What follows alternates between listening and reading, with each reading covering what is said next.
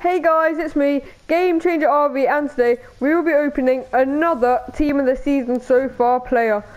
Um, I've done this a few times. I haven't been satisfied with what I've got, and um, I will stop. It. I will just carry on going until I think that is that's a good player.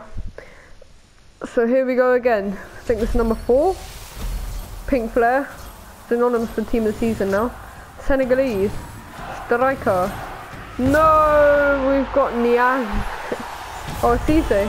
Oh, that's, oh no. Okay, so I'm just gonna do this again because I, I, I just, I'm, I'm not satisfied with this. This is just horrendous. 20k player. Oh wow, this is, mm, oh, this is just so bad. Okay, thanks for watching guys. I will be uploading again very soon. Make sure you keep your eyes peeled out.